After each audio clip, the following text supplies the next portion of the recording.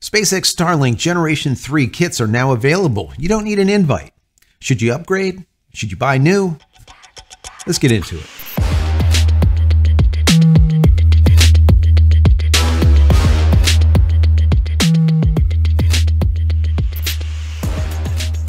Hey everybody, welcome back to the channel. Thank you so much once again joining me for tea time. Today we have a little bit of dark temptation.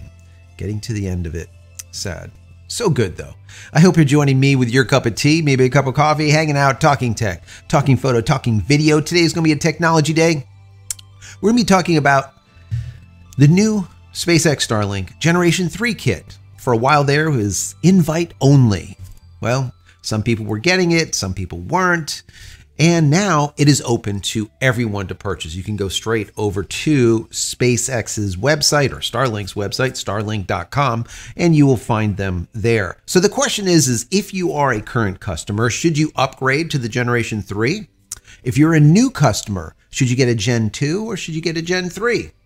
Well, I'm going to try to answer those questions for you today based on your needs. So last night I was reading a bunch of articles about this and I want to share one of them with you. I did an entire video, maybe I'll put a link over here, about the positives and negatives to a Generation 3 and how to set it up and whatnot. So definitely check that out when you're done watching this video. Also, if you're looking for more Starlink coverage, I have about 120 plus videos just on Starlink. I'll put also a link over here so you can go and check those out when you're done watching this video. And if you enjoy this content, even at least throw it a thumbs up. That would be awesome. Don't forget to subscribe if you're not already. And if you are, click this little button over here so when I go live or when a new video comes out, you'll be notified of it immediately. And if you want to say thank you for all of my hard work, there's a thank you button. You can click on that, give a dollar or two if you like. If not, that's perfectly fine. Consider becoming a member of the channel. That would be even better. And if you're looking for a VPN, check out the folks over at PureVPN. They gave us a promo code, which is JCristina. You'll get 15 additional percent off, or just simply use the URL, jcristina.com forward slash VPN. And one last thing is if you haven't downloaded any of my ebooks, check them out. They are 100% free. Go to jcristina.com forward slash books. Now, we're done with all of that promotion. Let's get into this article, and then I want to give you my commentary on it. And then, of course, down below, I want to hear from you because that's the most important thing is you guys, not me just talking, talking, talking here, right?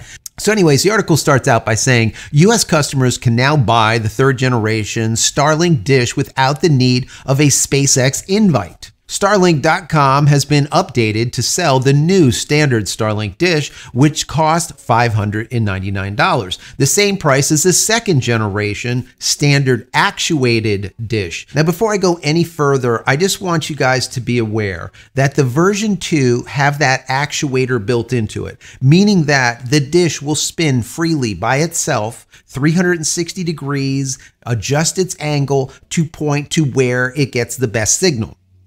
Whereas the Generation 3 is stationary, it's on a kickstand, and you have to make the modifications. Okay? Keep that in mind as we go further on. The article continues The catch is that interested customers will need to buy the new dish through the Roam tier for Starlink, which lets you use the Starlink satellite internet system in more than one location. You're allowed to roam. The Roam tier starts at $150 per month, making it more expensive than the residential tier, which costs anywhere from 90 per month up to 120 per month, depending on your location. For me, I'm paying 120 per month. The Roam tier is also selling the original second generation dish alongside of the new standard dish. So what that means is if you bought the Roam tier kit as of today, you could select to get the version 2 or the version 3 the Generation 2 or the Generation 3, one actuated, one non actuated. Bear that in mind. Customers can also buy the new Starlink dish through the business tier, but the plan has an even higher monthly service charge starting at $250 per month. In that case, I really wouldn't do it. That just doesn't make a lot of sense to me because if you are a business class client, well, buy a business class antenna, which is much bigger. You're going to end up with a reduction or reduced rain fade. It just simply has more antennae nodes in there pointing up on that 110 degrees swath of the sky that it's getting its coverage from. So that's just my personal opinion. A Starlink.com support page adds that existing customers can also buy the third generation dish through the Starlink shop, but they have to switch to the Roam tier. Keep that in mind. For now, the product is only available in the US, Starlink's largest market. The support page reads, quote, the Starlink standard kit will become available to additional service plans and markets over time. We do not have an estimated date to provide at this time. Basically, saying that third generation is available in the US and it's available if you buy Roam. We're going to also make it available for other parts of the world and then with other tiers, let's say, or other packages or other plans going forward. We just don't know when. Hang in there. According to the FCC filing, SpaceX designed the third generation dish to offer, quote, a higher performance solution for consumers. And that's an interesting, interesting statement. However, the company has yet to clearly state whether the new hardware offers an internet speed increase. That's left some existing Starlink subscribers wondering if the product is worth buying considering the cost of $599. Makes sense. On the plus side, the third generation Starlink dish comes bundled with the third generation router, which supports Wi Fi 6 and comes with two built in Ethernet ports. The new dish is also slightly larger and drops the self rotating motors. Instead, it's being designed to lay flat over a kickstand, like I said. So, the question once again is should you upgrade if you currently have SpaceX Starlink? Or if you are a new customer, should you get the Generation 3 or should you buy a Generation 2? And the answer to that is it depends. Let's look at it this way. They have not indicated as of yet if you're going to get better speeds with the Generation 3. So that's a problem for me. Because if you're not going to tell me that you're getting better speeds with the Generation 3, why do I want to get the Generation 3? Well, hang in there. There might be a reason for you. Now, the Generation 3 is better in some ways. Number one, it does have faster Wi Fi.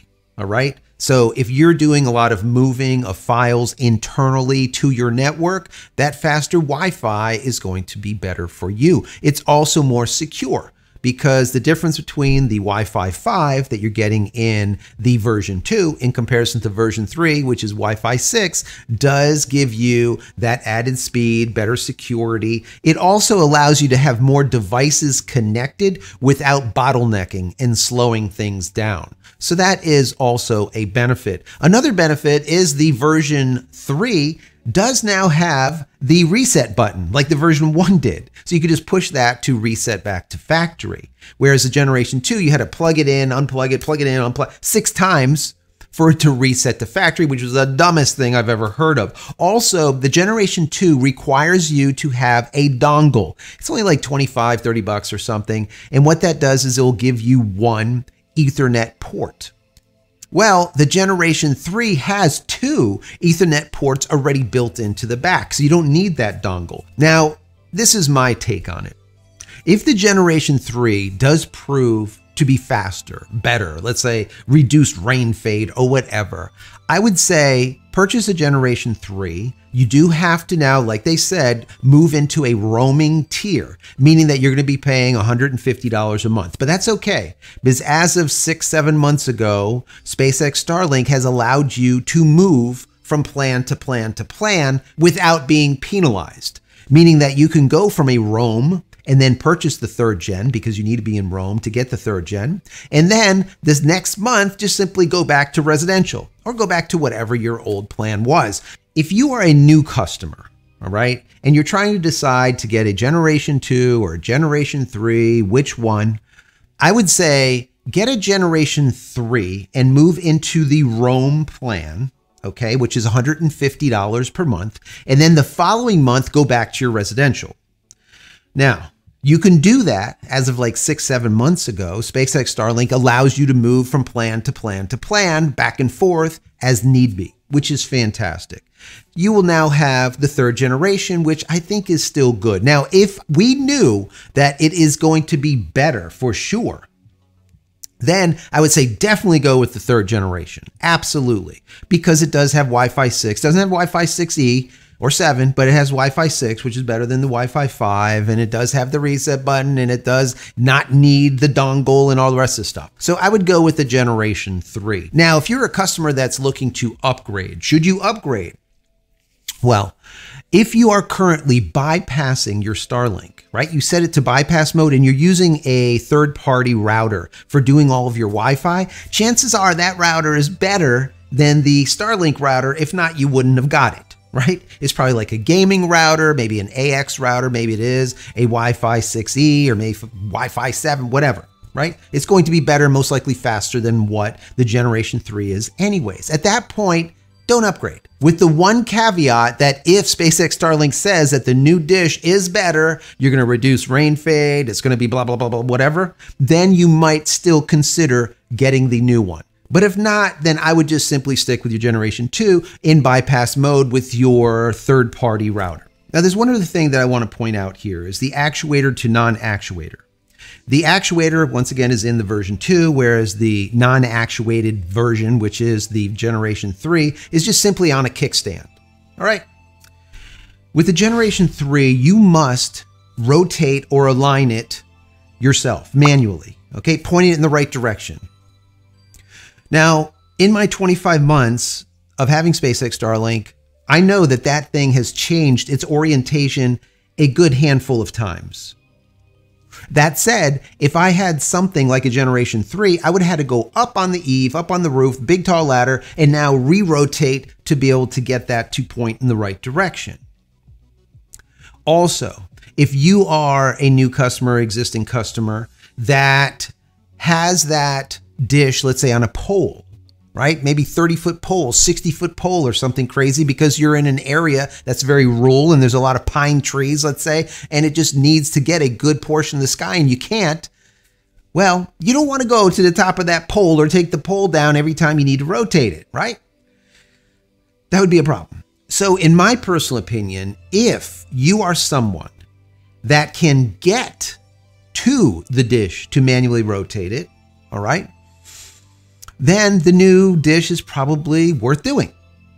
But conversely, if you're someone that once again has the dish on the top of a pole, on the top of a roof somewhere that's very high, or you do not have the ability to climb the tall ladder or you don't feel safe doing it or whatnot, I would say get the second generation and stick with that. Once again, it will rotate 360 degrees and tilt and all the rest of the stuff that it needs to do to get the best signal that you don't have to do it. Now, on Friday's JC live show that I do, if you haven't been there, definitely come and hang out with me. 8:30 usually Eastern Standard Time.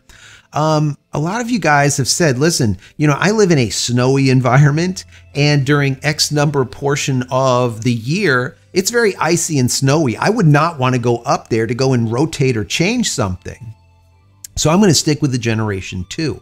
So it really has to do with what you feel comfortable with. Is the generation three better than the generation two?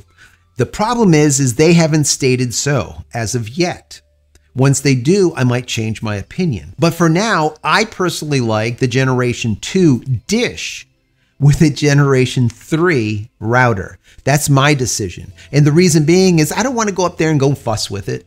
All right. And until they tell me that the Generation 3 is better, the Generation 2, my Mr. Bevel, is going to stay put. Now, would I pick up a Generation 3 router? Yeah. And I might do that. I might change to Roam, grab a Generation 3 router, and then change back to residential. So we will see. So I hope this information has helped you decide to go with a SpaceX Generation 2 or a SpaceX Generation 3 kit. If you're a new client or a new customer, or if you're an old customer looking to upgrade. Anyways, if you enjoy the content, I always say throw it a thumbs up. That would be very, very helpful. And finally, head over to my website, jcristina.com, where you can find all the photography tools that I've invented for you and me over the years. And hopefully, there's something there that you might like. Don't forget all of my teas and merch and everything else. Check it out, jcristina.com. Many blessings to you and your family. Stay safe, stay healthy. Happy holidays, and we'll see you in the next one. Love you all.